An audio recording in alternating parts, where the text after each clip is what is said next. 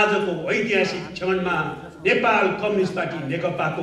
हाम्रो पार्टीको केन्द्रीय कमिटीको यो बैठक आयोजित भएको छ। यो बैठकमा म सबै कमरेडहरूलाई हार्दिक अभिवादन गर्न चाहन्छु लाल सलाम। अध्यक्ष कमरेड केपी शर्मा ओलीले पार्टी र सरकारलाई विचार र नीतिको आधारमा सञ्चालन गर्ने र पार्टी र सरकारलाई विधि र पद्धतिको आधारमा संस्थागत ढङ्गले सञ्चालन गर्ने कामलाई नेतृत्व गर्नुको सट्टा त्यसमा गम्भीर समस्या र अवरोधहरू पैदा गर्नुभयो। त्यसपछि पार्टीले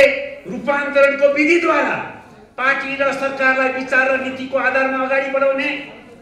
र पार्टी र सरकारलाई विधि र पद्धतिको आधारमा संस्थागत ढङ्गले अगाडि बढाउने र नेपाली कम्युनिस्ट आन्दोलन हाम्रो पार्टी र सरकारमा कम्युनिस्ट मूल्य मान्यता प्रगतिशील मूल्य मान्यता र आचरण स्थापित गर्ने अभियानलाई अगाडि बढाउन पार्टीभित्र छलफल बहस र अन्तर सङ्घर्षको प्रक्रिया अगाडि बढायौँ पहल कदमी गऱ्यौँ हाम्रो लगातारका प्रयत्न विभिन्न बैठक त्यस बैठकका निष्कर्षहरूलाई कार्यान्वयन गर्नुको सट्टा त्यो कार्यान्वयनलाई अबको प्रक्रियामा नलैजाने त्यसको अवज्ञा गर्ने र पार्टीलाई र सरकारलाई स्वेच्छाचारी ढङ्गले निरङ्कुश ढङ्गले पद्धतिविहीन ढङ्गले सञ्चालन गर्न खोज्ने प्रवृत्ति फेरि हाबी भयो। अन्तत आजको बिन्दुसम्म आइपुग्दाखेरि खालि पार्टी र सरकारलाई विचार नीति विधि पद्धतिको आधारमा सञ्चालन गर्नेमा समस्या र त्यस कारणले पानीमा सङ्कटको स्थिति मात्रै पैदा गर्ने काम उहाँले गर्नु भएन संविधानले दिँदै नदिएको अधिकारको तथाकथित प्रयोगद्वारा प्रतिनिधि सभाको कथित विघटन गर्ने घोषणा समेत गरियो। त्यो असंवैधानिक अलोकतान्त्रिक निरङ्कुश प्रतिगामी र स्वेच्छाचारी कदम हो। आज सम्पूर्ण कानुन व्यवसायी राजनीतिक पार्टीहरू नागरिक समाज सबैको अगाडि त्यो घर घाम जतिकै छर्लङ्ग भइसकेको छ र सबैले एक स्वरले यो असंवैधानिक अलोकतान्त्रिक निरङ्कुश प्रतिगामी र स्वेच्छाचारी कदमको विरोध पनि गरेका छन्। त्यसैले आजको यो बिन्दुमा हामी खालि हाम्रो पार्टी र नेपाली कम्युनिस्ट आन्दोलनको रक्षाको प्रश्न मात्रै गर्नुपर्ने ठाउँमा छैनौँ। आज हामीले ठुलो बलिदानीपूर्ण सङ्घर्षको परिणामस्वरूप प्राप्त गरेको ऐतिहासिक राजनीतिक परिवर्तन सङ्घीय लोकतान्त्रिक गणतन्त्र संविधान र लोकतन्त्रको पक्षमा पनि दृढतापूर्वक उभिनुपर्ने ऐतिहासिक आवश्यकताको बिन्दुमा आइपुगेका छौँ। केन्द्रको एकता गरी हामीले पचहत्तर साल जेठ तिन गते जननेता कमरेड मदन भण्डारीको जन्म जयन्तीको अवसर पारेर पार्टी एकता गऱ्यौँ। त्यो पार्टी एकता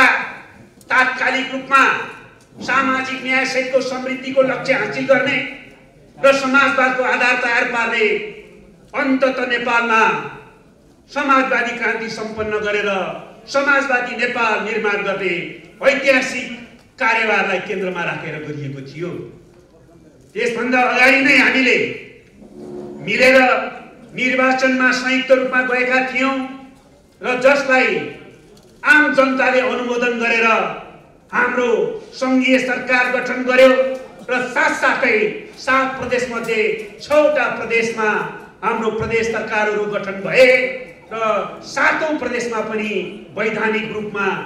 निर्वाचन पश्चातको स्थिति भन्ने हो भने सबभन्दा ठुलो पार्टीको हैसियत हामीले नै प्राप्त गऱ्यौँ यसरी हाम्रो एकीकृत पार्टीका सामु